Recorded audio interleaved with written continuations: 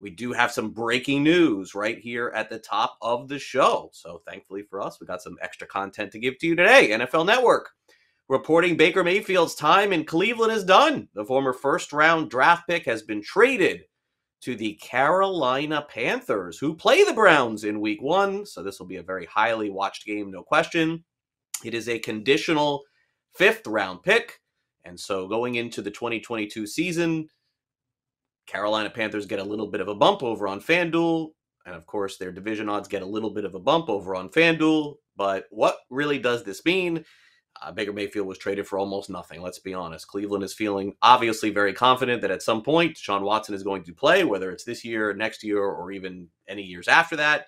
Mayfield expressed his displeasure when all of the rumors were going on, and then even as the trades. And so this was just a matter of time, but that time ends today. So Baker Mayfield certainly a very uneven time, I would say, in Cleveland, to say the least. At times showed that he could be a number one quarterback in the NFL. At other times, he was just handing the ball off to his two great running backs, and of course, was hurt part of the time there in Cleveland. So he gets a new lease on his quarterback tenure and goes to a Carolina Panthers situation that's coming off a really rough year, but some weapons there as well.